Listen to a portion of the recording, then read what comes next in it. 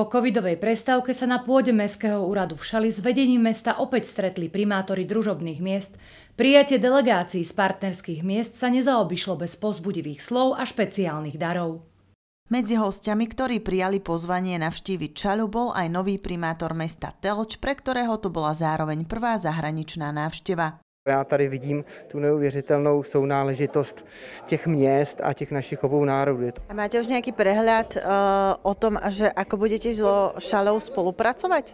Moc se těším na to, že budeme sdílet nějaké zkušenosti, třeba i s čerpáním projektů a budováním nějakých staveb, protože byť jsme dva různé státy, myslím si, že navzájem se máme jeden od druhého co učit. Primátori zahraničných miest sa zhodli na jednom, že spoluprácu so Šaľou vnímajú najmä cez priateľstvo. U niektorých partnerstvo pretrváva 10 ročia a nie je založené len na kultúrnych vzťahoch, ale aj na rôznych cezhraničných projektoch, ako sú napríklad ihriská pre deti či športové podujatia.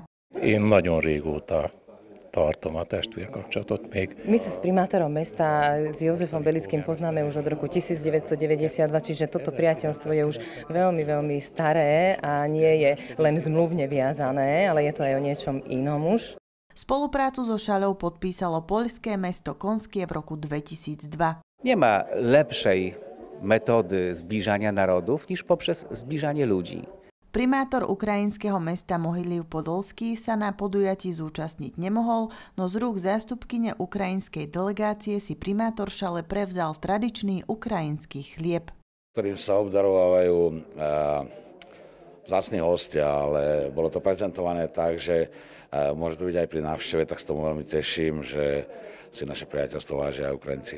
Toto je zmysel spoznávať, e, obohacovať sa vzájomne a mať priateľov možno, že aj za hranicami nášho štátu. Vymienanie skúseností a podobná, no zároveň odlišná kultúra môže byť vzájomne obohacujúca. My se už pravidelně setkáváme vždycky se Šalou na našich historických slavnostech Telči, kde nám přijíždí vystupovat a zase vlastně eh, zveme Šalany k nám do Telče na Folklor v máji. Jednak jsme i dávali dohromady společné projekty, eh, Vyšegrádská štverka, kdy vlastně eh, studenti jezdili na společný lyžařský tábor, takže i tady se ten cestovní ruch jakoby promítá samozřejmě výměna zkušeností už od těch dětí a studentů. Michála Matušková, televízia KREA.